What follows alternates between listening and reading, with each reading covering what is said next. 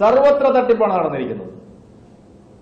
മുഖ്യമന്ത്രിയുടെ ഏറ്റവും അടുത്ത ഒരു ബന്ധു ഈ കടലാസ കമ്പനിയിൽ ഡയറക്ടറായിരുന്നു ഇപ്പോ അദ്ദേഹത്തിന്റെ പേര് അതിന്റെ ലോഗോയിൽ നിന്ന് മാറ്റിയിരിക്കുക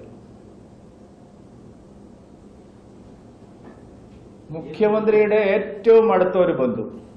ഞാൻ ഇന്ന് പേര് പറയുന്നില്ല. നാളെ അല്ല ഇന്ന് പറയണമെങ്കിൽ എനിക്ക് പറയുന്നതിന് മടിയൊന്നുമില്ല.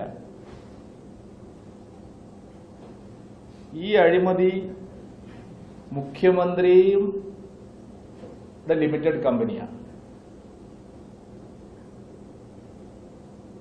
മുഖ്യമന്ത്രിയും പരിവാരങ്ങളുമാണ് ഈ അഴിമതിയുടെ ഗുണഭോക്താക്കൾ.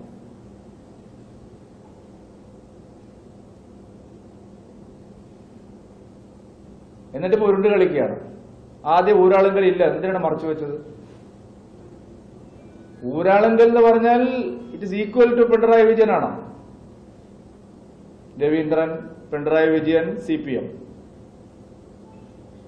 സംസ്ഥാനത്തെ സി പി എം നേതാക്കളുടെയും മന്ത്രിമാരുടെയും അഴിമതികൾ മറയ്ക്കാനുള്ള ഒരു കമ്പനിയാണ് ഊരാളുക്കൽ സർവീസ് സൊസൈറ്റി. എല്ലാ തട്ടിപ്പുകളും അവർ വഴിയാണ് നടക്കുന്നത്.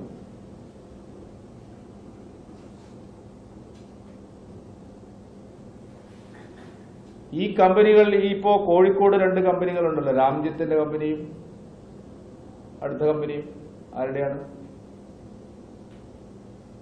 ആ കടലാസ് കമ്പനിയിലെ ഡയറക്ടർമാർ ആരൊക്കെയായിരുന്നു? ആരാണ് ഈ പ്രകാശ് ബാബു? എന്താ അയാളുടെ ബന്ധം ഈ കമ്പനികളിൽ?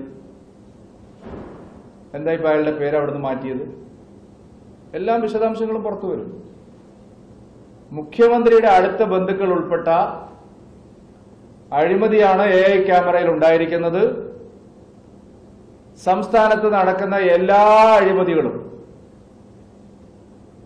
ക്ലിഫ് ഹൗസ് അറിഞ്ഞുകൊണ്ടാണ് നടത്തുന്നത്. ഏറ്റവും ഒടുവിൽ എ ഐ ക്യാമറ അഴിമതിയുടെയും ഗുണഭോക്താവ് ക്ലിഫ് ഹൗസ് വ്യാപകമായ കൊള്ളയാണ് കേരളത്തിലെ ജനങ്ങളെ കബളിപ്പിച്ച് ഈ ഗവൺമെന്റ് നടത്തുന്നത്. വ്യാപകമായ കൊള്ളയാണ്. എന്നിട്ട് മുഖ്യമന്ത്രി പറയാണ് അഴിമതിയില്ലാത്ത സംസ്ഥാനമാണ് കേരളം. അഴിമതി മാത്രമേ ഭരണത്തിലുള്ളൂ. പിണറായി വിജയൻ ഗവൺമെന്റ് ശാസ്ത്രീയമായി സംഘടിതമായി സർക്കാർ സംവിധാനങ്ങളെ മുഴുവൻ ദുരുപയോഗപ്പെടുത്തി കോടിക്കണക്കിന് രൂപയുടെ കൊള്ളയാണ് അതുകൊണ്ടാണ് ഇപ്പോൾ വിജിലൻസ് ഓടിപ്പോയി. വിജിലൻസ് എന്ന് പറയുന്നത് കേരളത്തിൽ ഇങ്ങനെയുള്ള തെളിവുകൾ പുറത്തു വരാതിരിക്കാൻ വേണ്ടി മാത്രമുള്ള ഒരു ഏജൻസി. അതിനുവേണ്ടി മാത്രം ഫയലുകൾ പിടിച്ചെടുക്കുന്ന ഒരു വിചിത്രമായ ഏജൻസിയായി അത് മാറിയിരിക്കുക എല്ലാ ഫയലുകളും പിടിച്ചെടുക്കുകയാണ്. അതുകൊണ്ട് മുഖ്യമന്ത്രി ശ്രീ പിണറായി വിജയൻ മലർന്നു കിടന്ന് തുപ്പരുത്. നരേന്ദ്രമോദിജി കേരളത്തിൽ വന്നപ്പോൾ വസ്തുതകൾ മാത്രമാണ് സംസാരിച്ചത്. കേരളത്തിലെ ജനങ്ങൾക്ക് അദ്ദേഹത്തിനിടയിലുള്ള വിശ്വാസ്യത വർദ്ധിച്ചിരിക്കുന്നു. പിണറായി വിജയൻ പച്ചക്കള്ളം പറഞ്ഞും ഇത് കേരളമാണ് എന്ന് പറഞ്ഞ് ഭീഷണിപ്പെടുത്തിയും നാട്ടിലെ ജനങ്ങളുടെ വിശ്വാസത്തെ തകർക്കാൻ സാധിക്കില്ല. കാര്യങ്ങൾ നേരെ ചൊവ്വേ പറയണം. അത് തൊഴിലില്ലായ്മയുടെ കാര്യത്തിലായാലും സംരംഭകത്വത്തിന്റെ കാര്യത്തിലായാലും സാമ്പത്തിക വളർച്ചയുടെ കാര്യത്തിലായാലും കടക്കണികളുടെ കാര്യത്തിലായാലും എല്ലാ കാര്യത്തിലും പിണറായി വിജയൻ പച്ചക്കള്ളമാണ് പറഞ്ഞത് ബി ജെ പി കേരളത്തിലെ ജനങ്ങളെ മുമ്പിൽ ശ്രീ നരേന്ദ്രമോദിജി ഗവൺമെന്റ് ചെയ്ത കാര്യങ്ങൾ എണ്ണി എണ്ണി പറഞ്ഞുകൊണ്ടാണ് ജനങ്ങളെ സമീപിക്കുന്നത്. അതിന് ഉത്തരമില്ലാതാവുമ്പോൾ ഇത് കേരളമാണ് എന്നൊക്കെ പറഞ്ഞ് പതിവ് ഏർപ്പാട് നടത്താൻ സാധിക്കില്ല. പണ്ട് ഏതെങ്കിലും ഒരു പ്രൊജക്റ്റിലാണ് അഴിമതി നടത്തിയിരുന്നതെങ്കിൽ ഇപ്പൊ എല്ലാ തട്ടിപ്പുകാരും കൂടി ഒരു പ്രൊജക്റ്റിൽ ഏത് പ്രൊജക്റ്റ് വരുമ്പോഴും അതിൽ എല്ലാ തട്ടിപ്പുകാരും യോജിക്കുക. ഇപ്പൊ അൽഹി അൽഹിന്ദിന്റെ എം ഡി പറഞ്ഞത് വലിയ വാർത്തയായില്ല. ക്യാമറയുടെ കാര്യത്തിൽ സമീപിച്ചെന്നും അമ്പത് കോടി മുടക്കിയാൽ എഴുപത്തഞ്ച് കോടി നിങ്ങൾക്ക് ലാഭം കിട്ടുമെന്നും ഒക്കെ പറഞ്ഞിട്ടുണ്ടല്ലോ. ഇരുന്നൂറ്റി മുപ്പത്തഞ്ച് കോടിക്ക് കരാറ് കൊടുത്തിട്ട് കെൽട്രോണിന് U L C C S R I T ഇതെല്ലാം ചേർന്നിട്ട് നൂറ്റി എഴുപത്തഞ്ച് കോടിക്ക് മറിച്ചു കൊടുക്കും. അപ്പൊ തന്നെ ഒരു അറുപത് കോടി അവിടെ കിട്ടും. പിന്നെ അതിനേം താഴെ ഈ ബ്രഹ്മപുരത്തെ കരാറ് പോലെയാണ്. നൂറ്റി ഇരുപത്തഞ്ച് കോടിക്ക് ഒരു കമ്പനി എടുക്കുന്നു. അമ്പത് കോടി എടുത്ത് പോക്കറ്റിലിട്ടിട്ട് എഴുപത്തഞ്ച് കോടിക്ക് ഉപകരാറ് കൊടുക്കുന്നു ഇത്രയും തട്ടിപ്പ് നടത്തുന്ന ഒരു ഗവൺമെന്റ് എന്നിട്ട് പറയാണ് ഈ രാജ്യത്ത് അഴിമതി ഇല്ലാത്ത ഒരു സ്റ്റേറ്റ് ആണ് കേരളം. അതുകൊണ്ട് ഈ അഴിമതി അവസാനിപ്പിച്ച് ശരിയായ അന്വേഷണത്തിന് മുഖ്യമന്ത്രി തയ്യാറാവുകയാണ് വേണ്ടത്. മുഖ്യമന്ത്രി അറിഞ്ഞുകൊണ്ട് നടത്തിയ അഴിമതിയാണിത്. മുഖ്യമന്ത്രി അവരുടെ ലിമിറ്റഡ് കമ്പനി പോലെയാണ് ഇവിടെ എല്ലാം നടന്നിരിക്കുന്നത്.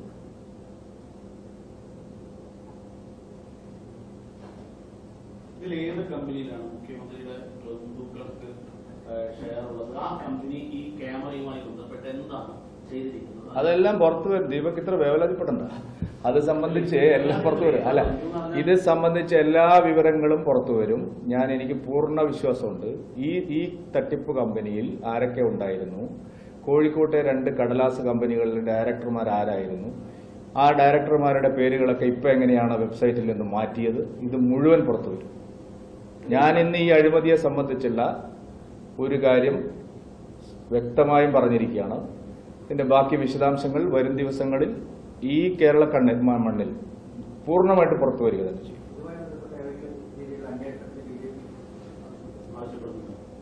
അന്വേഷിക്കപ്പെടാതിരിക്കാൻ പറ്റില്ലല്ലോ. ഇത് സംബന്ധിച്ച എല്ലാ കാര്യങ്ങളും അന്വേഷിക്കേണ്ടി വരും. അല്ല വിജയ് എല്ലാം പേരും ദീപകെ. ഒരു അതിനെ പിണറായി വിജയന്റെ ഇതിന്റെ പങ്കാളിത്തം മുഖ്യമന്ത്രിയുടെ ഓഫീസിന്റെ പങ്കാളിത്തത്തെ സംബന്ധിച്ച് എല്ലാ കാര്യങ്ങളും പുറത്തു വരും. നിങ്ങൾ ഇത്ര പെട്ടെന്ന് വേവലാതിപ്പെടല്ലേ? സ്വർണക്കടത്തിൽ ഞാൻ പറഞ്ഞതിൽ ഒരു കാര്യം പോലും തെറ്റിയിട്ടില്ല മിസ്റ്റർ ദീപക്. സ്വർണക്കള്ളക്കടത്ത് കേസിൽ ജൂൺ ആറാം തീയതി ഞാൻ പറഞ്ഞു ഇതേ കോഴിക്കോട് പത്രസമ്മേളനം നടത്തി. ഇതേ ഓഫീസിൽ മുഖ്യമന്ത്രിയുടെ ഓഫീസിൽ നിന്നാണ് വിളിച്ചത്. മുഖ്യമന്ത്രിയുടെ ഓഫീസ് പ്രിൻസിപ്പൽ സെക്രട്ടറി അല്ലേ വിളിച്ചത്? പിന്നെ എന്താണ് സ്വർണക്കള്ളക്കടത്തിൽ ഞാൻ പറഞ്ഞതിൽ തെറ്റ്? സ്വർണക്കള്ളക്കടത്തിൽ ഞാൻ പറഞ്ഞതിൽ ഒരു തെറ്റും എവിടെയും ഉണ്ടായിട്ടില്ല. ആര് പറഞ്ഞു? മുഖ്യമന്ത്രിയുടെ പ്രിൻസിപ്പൽ സെക്രട്ടറിയും മുഖ്യമന്ത്രിയുടെ പ്രൈവറ്റ് സെക്രട്ടറിയും പ്രതികളായ കേസിൽ അദ്ദേഹം പിന്നെ എന്താണ്? അല്ലാതെ മുഖ്യമന്ത്രി പോയി സ്വർണം കടത്തിയെന്ന് ഞാൻ പറഞ്ഞില്ലല്ലോ. മുഖ്യമന്ത്രിയുടെ ഓഫീസ് സ്വർണക്കള്ളക്കടത്തുകാരെ സഹായിച്ചു. ഞാൻ പറഞ്ഞതാണ്. നിങ്ങൾക്ക് എടുത്തു നോക്കാം. മുഖ്യമന്ത്രിയുടെ ഓഫീസിൽ നിന്നാണ് ആദ്യത്തെ വിളി പോയത്. തൊണ്ടി മുതൽ മോചിപ്പിക്കാൻ മുഖ്യമന്ത്രിയുടെ ഓഫീസ് ബന്ധപ്പെട്ടു. ഇത് തന്നെയാണ് ഞാൻ പറഞ്ഞത്. ഒരു അന്വേഷണ ഏജൻസിയും വരുന്നതിന് മുമ്പ് സ്വർണക്കള്ളക്കടത്തിന്റെ കേസിനെ സംബന്ധിച്ച് സംസ്ഥാന ഗവൺമെന്റോ കേന്ദ്ര ഗവൺമെന്റോ ഒരു അന്വേഷണവും പ്രഖ്യാപിക്കുന്നതിന് മുമ്പ് വ്യക്തമായ വിവരം മുഖ്യമന്ത്രിയുടെ ഓഫീസ് ഇടപെട്ടു എന്നുള്ള വ്യക്തമായ വിവരത്തിന്റെ അടിസ്ഥാനത്തിലാണ് ഞാൻ പറഞ്ഞത്. ഈ എ ക്യാമറ ഇടപാടിലും രണ്ട് കടലാസ് കമ്പനികൾ അതിന്റെ ഡയറക്ടർമാരും അവരുടെ ദുരൂഹത ഞാൻ ഇന്ന് പറയുന്നു മുഴുവൻ വിശദാംശങ്ങളും പുറത്തു വരും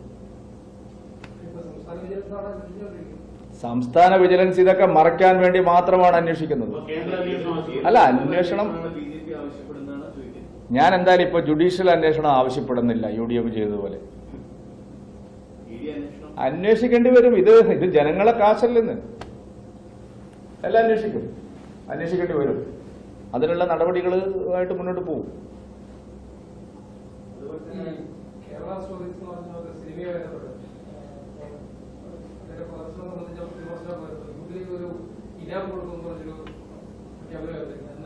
അല്ല അതിപ്പോ മുഖ്യമന്ത്രി അങ്ങ് പറഞ്ഞ പോരെ ഐ എസ് ഐ എസിലേക്ക് എത്ര പേര് പോയിന്ന്?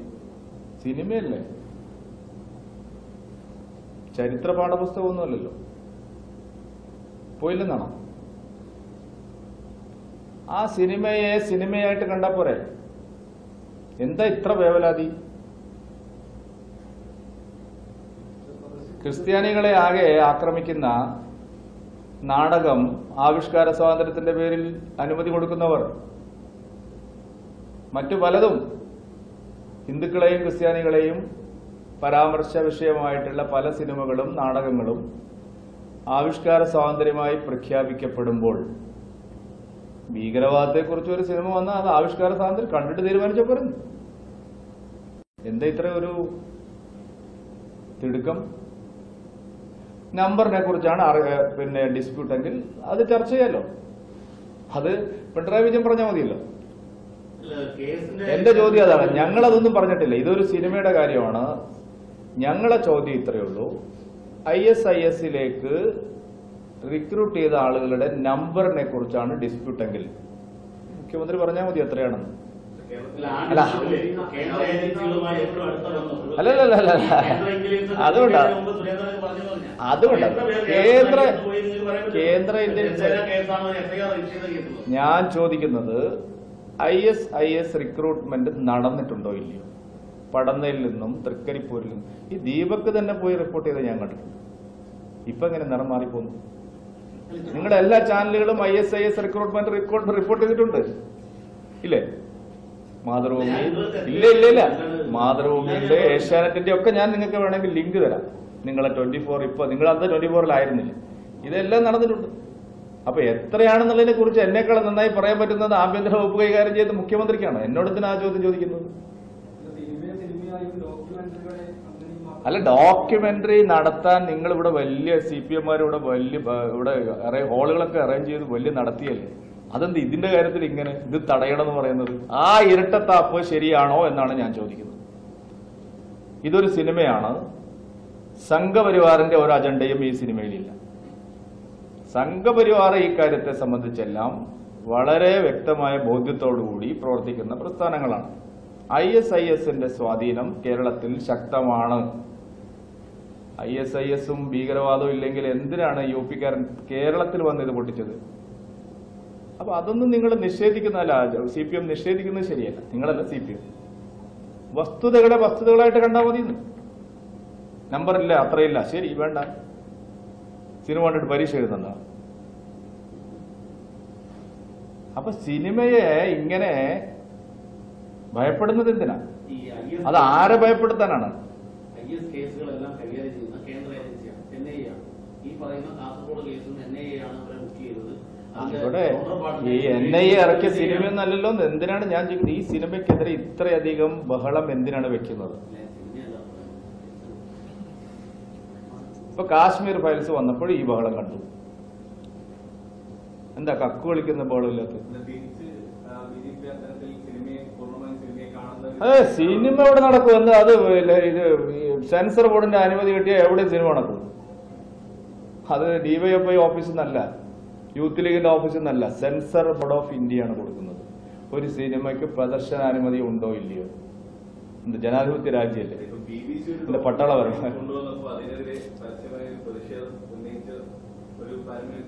പരസ്യം പ്രതിഷേധിക്കുന്നതിന് ആർക്കും കുഴപ്പമില്ല. ഞങ്ങൾ എവിടെ തടഞ്ഞിട്ടൊന്നുമില്ലല്ലോ പോയിട്ട്. ഏ?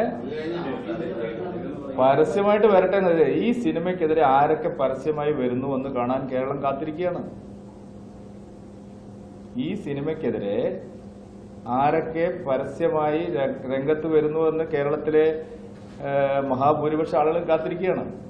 ക്രൈസ്തവ സമൂഹവും ഹിന്ദു സമൂഹം കാത്തിരിക്കുകയാണ്? ആരൊക്കെയാണ് ഇതിനു വേണ്ടി വരുന്നത്? ഇതുവരെ മിണ്ടാത്തവരൊക്കെ മറ്റ് സിനിമകളും നാടകങ്ങളൊക്കെ വന്നപ്പോൾ അതൊക്കെ ആവിഷ്കാര സ്വാതന്ത്ര്യമാണെന്ന് പറഞ്ഞവരൊക്കെ ഇപ്പൊ എന്തിനാണ് വരുന്നതെന്ന് അറിയാനാണ് ഞങ്ങൾ കാത്തിരിക്കുന്നത്. വരട്ടെ. പിണറായി വിജയൻ വന്നു കഴിഞ്ഞു. യൂത്ത് ലീഗ് വന്നു കഴിഞ്ഞു. ഡിവൈഎഫ്ഐ വന്നു കഴിഞ്ഞു. ഇനി ആരൊക്കെ വരും നോക്കാം. കാരണം ഇതൊരു കഥയാണ്. ഇതൊരു ജനാധിപത്യ രാജ്യമല്ലേ?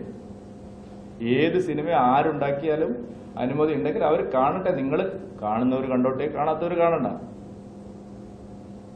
പ്രദർശനാനുമതിയൊക്കെ നിഷേധിക്കുന്നൊക്കെ പറഞ്ഞാൽ അതൊന്നും നടക്കുന്ന കാര്യമല്ല. ആ അതിൽ കേരളം ഒരുപാട് മുമ്പോട്ട് പോയി.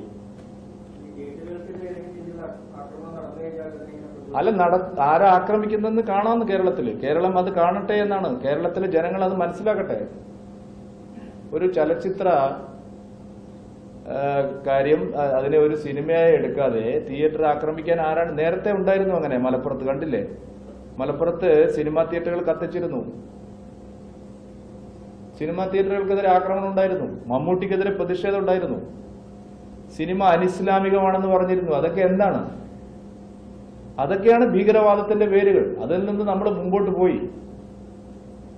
ഇപ്പോഴും അങ്ങനെ ആരെങ്കിലും ചിന്തിക്കുന്നുണ്ടെങ്കിൽ കേരളം അവരെ കാണാൻ അവരെ തിരിച്ചറിയാനുള്ള ഒരു സിനിമയുടെ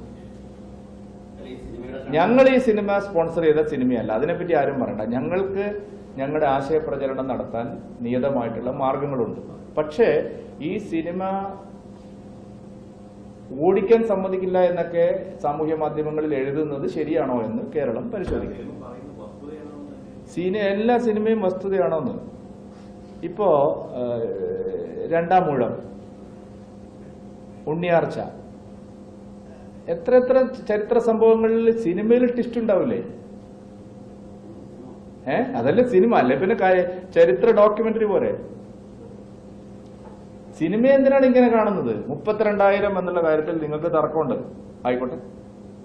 അതിനർത്ഥം ഐ എസ് റിക്രൂട്ട്മെന്റ് ഇല്ല എന്നുള്ളതല്ലല്ലോ അത് നിങ്ങൾ എല്ലാവരും അംഗീകരിക്കുന്നുണ്ടല്ലോ. ഉണ്ടായിട്ടുണ്ട് എന്നുള്ളത്. അത് ഞങ്ങളാരും കൊണ്ടുവന്നതല്ലല്ലോ.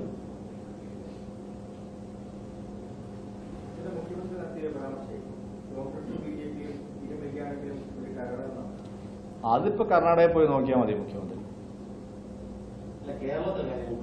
അതെ C P M Kerala I M വേണ്ട സി പി കെ എം എന്നാക്കിയാൽ മതി പിണറായി വിജയൻ. ഏതാണ്ട് ആ സ്ഥിതി സി പി ഐ ആ സ്ഥിതിയായി. ഇനിയിപ്പോ വലിയ താമസമില്ലാതെ സി പി എമ്മിനും ആ സ്ഥിതി വരും.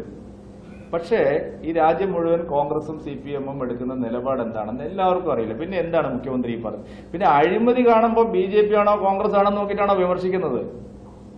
ഇങ്ങനെ പച്ചയായ അഴിമതി നേരം വെളുക്കുന്നവരെ കക്കുമ്പോ കോൺഗ്രസ്സുകാരും ബി ജെ പിക്കാരും പറയുന്നു എന്ന് പറയുന്നത് അത്ഭുതമാണോ? നല്ല കൊള്ളയല്ലേ നടത്തുന്നത്? നേരം വെളുക്കുന്നവരെ കക്കുകയല്ലേ? എല്ലാവരും കൂടെ ചേർന്ന് കക്കുകയല്ലേ? അപ്പൊ പിന്നെ ഞങ്ങൾ പറയാതിരിക്കുമോ കഴിഞ്ഞ അഞ്ച് വർഷം അത് കഴിഞ്ഞ് ഇപ്പോഴത്തെ രണ്ട് വർഷം ഒരു സിഗ്നിഫിക്കന്റ് ആയിട്ടുള്ള അഴിമതി എല്ലാ അഴിമതി എങ്ങനെ എങ്ങനെ പോവി എന്ന് ഇരുപത് കോടി രൂപ എനിക്ക് മനസ്സിലാവും. ഇരുപത് കോടി രൂപ ലൈഫ് മിഷന് പാവപ്പെട്ടവർക്ക് വീട് വെക്കാൻ കൊണ്ടുവന്നതിൽ അഞ്ചു കോടി കമ്മീഷൻ അടിച്ചു. അതിനെതിരെ എൻഫോഴ്സ്മെന്റ് അന്വേഷണം നടത്തിക്കൊണ്ടിരിക്കുകയാണ്. ഉടനെ വിജിലൻസ് വന്ന് ആ ഫയലുകൾ മുഴുവൻ പിടിച്ചെടുത്തു. ഇതല്ലേ ഇവിടെ വിജിലൻസ് ചെയ്യുന്നത്? ഞാൻ ചോദിക്കട്ടെ ലൈഫ് മിഷൻ കോഴ കേസിൽ വിജിലൻസ് എന്ത് അഴിമതിയാണ് നടത്തിയത്? അവർ അന്വേഷണം എവിടെ എത്തി? കേന്ദ്ര ഏജൻസികളുടെ അന്വേഷണം മുഴുവൻ തടസ്സപ്പെടുത്താൻ സുപ്രീം കോടതിയിൽ കോടിക്കണക്കിന് രൂപ ചെലവഴിച്ച ഒരു ഗവൺമെന്റ് എന്തിനു പോകുന്നു? ആ ചോദ്യത്തിന് ആരും മറുപടി പറയുന്നില്ല. ഏത് ഫെഡറൽ സിസ്റ്റത്തിനെതിരെ അന്വേഷണം നടത്തുന്നതാ? അതെങ്ങനെയാ അത്? ഇന്ത്യയിലെ എല്ലാ സംസ്ഥാനങ്ങളിലും കേന്ദ്ര ഏജൻസികൾക്ക് അന്വേഷിക്കാമെന്ന് സുപ്രീം കോടതി അതേ കേസിൽ തന്നെ പറഞ്ഞിട്ടുണ്ടല്ലോ. പിന്നെന്താ ഇവിടെ മാത്രം അന്വേഷിക്കും ഇത് കേരളമാണ് ഇവിടെ അന്വേഷിക്കാൻ പറ്റില്ല എന്ന് പറയുന്നതൊക്കെ സോഷ്യൽ മീഡിയയിൽ എഴുതാൻ പറ്റും. പക്ഷെ അതൊന്നും ഭരണഘടനാപരമായി ശരിയല്ല. അതുകൊണ്ട് അഴിമതി കേസുകൾ ഇപ്പൊ S N C Lavalin case വിചാരണ കൂടാതെ കേരളത്തിൽ വിട്ടയച്ചു. അങ്ങനെ ഏതെങ്കിലും അഴിമതി കേസ് കേരളത്തിൽ ഇത് നടക്കും. ഇത് കേരളമാണ്.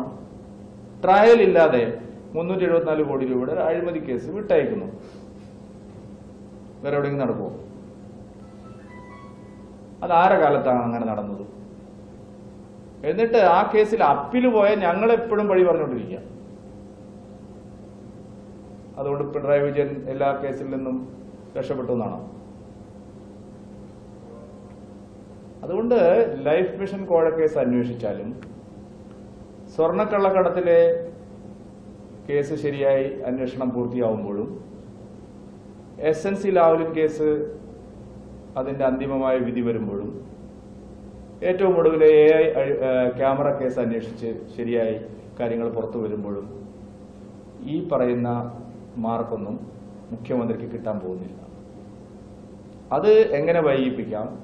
അന്വേഷണം എങ്ങനെ തടസ്സപ്പെടുത്താം? അതിനുള്ള മാർഗങ്ങളാണ് അധികാരം ഉപയോഗിച്ച് ശ്രീ പിണറായി വിജയൻ നടത്തിക്കൊണ്ടിരിക്കുന്നത്. അതും ശാശ്വതമായി അദ്ദേഹത്തിന് നടത്താൻ സാധിക്കുന്ന ഒരു കാര്യമല്ല. അതുകൊണ്ട് ഈ അഴിമതിയെല്ലാം പുറത്തു വരും.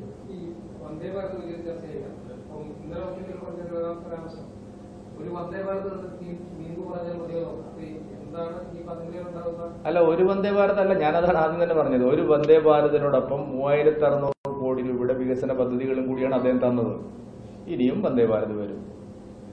മുഖ്യമന്ത്രിക്ക് ധൈര്യമില്ലല്ലോ ഒരു അഞ്ച് പഞ്ച് വന്ദേ ഭാരത് വേണമെന്ന് ആവശ്യപ്പെടാൻ. കേരളം ഇതുപോലെ ജനങ്ങൾ സ്വീകരിച്ച ഒരു ട്രെയിൻ ഇതുപോലെ ഞാൻ പറയട്ടെ എന്റെ ചോദ്യത്തിന് അതിന്റെ റിലവൻസ് ഉണ്ടോ നിങ്ങൾ നോക്കും. ഇതുപോലെ ജനങ്ങൾ ഹൃദയത്തിൽ സ്വീകരിച്ച ഒരു ട്രെയിൻ ഒരു രണ്ട് ട്രെയിനും കൂടി വേണം. ആവശ്യപ്പെട്ടില്ലല്ലോ മുഖ്യമന്ത്രി. ഒരു രണ്ട് വന്ദേ ഭാരത് ട്രെയിൻ കൂടി കേരളത്തിന് വേണം എന്ന് മുഖ്യമന്ത്രി ഇതുവരെ ആവശ്യപ്പെട്ടിട്ടില്ല. അപ്പൊ ആറ്റിറ്റ്യൂഡ് ഇതാണ്. സ്വന്തം നാടിനെ കുറിച്ച് ഒരു മുഖ്യമന്ത്രിയുടെ മനസ്സിലിരിപ്പ് ഇതാണ്.